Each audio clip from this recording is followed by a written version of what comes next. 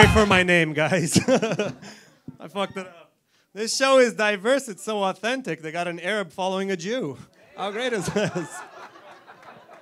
This is great, flappers. Good on you, guys. Welcome. My name is Faruk. That's how you pronounce it. Thank you. Or if you're a uh, Starbucks barista, it's Frank. Thank you, guys. I am Arab. Uh, it's official because this is only a five o'clock shadow.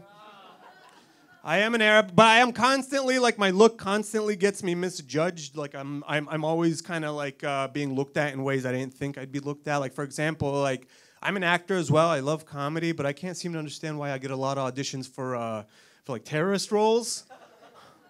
I'm starting to think it's because I'm a uh, Capricorn.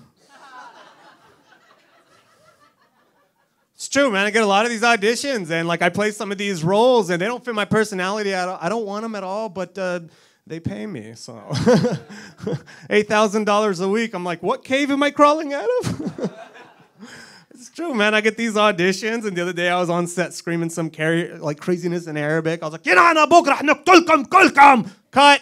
Woo! my God, who was that guy? Am I right? It's true, man. I get a lot of these auditions. Like, I have to record some of these at home and I have to mail them in. yeah. I tend to save my auditions so I could go back and watch them later. So, like, right now, what I'm saying is, right now at home, I have a laptop full of a bunch of angry Arab videos. I'm like, what if I lost my laptop? What if I left it at the airport? Begin discovered in all the wrong ways. Constantly being misjudged, man. Somewhere else I'm being misjudged. So I work for this uh, this hotel company, right? And I've worked at five different properties.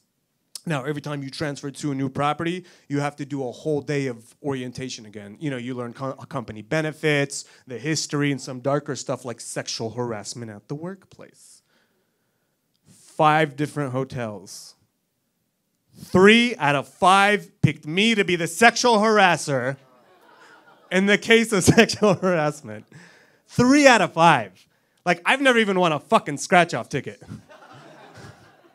Three out of five. Like, at what age did I start developing this resting rape face?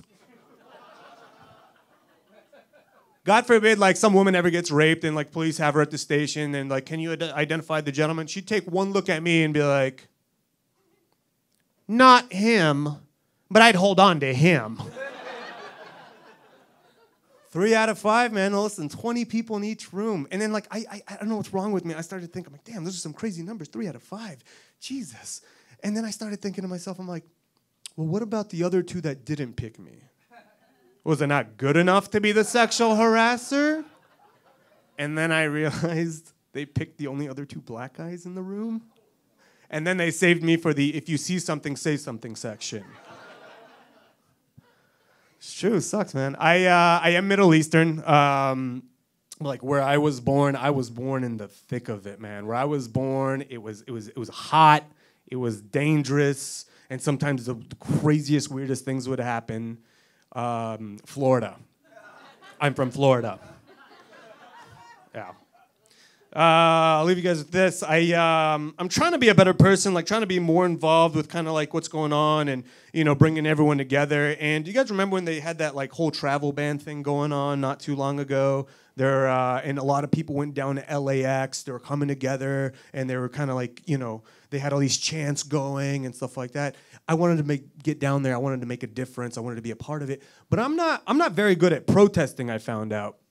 Um, I get to the airport and they're doing this chant. The first guy's like, "No travel ban ever. Everybody deserves to be here."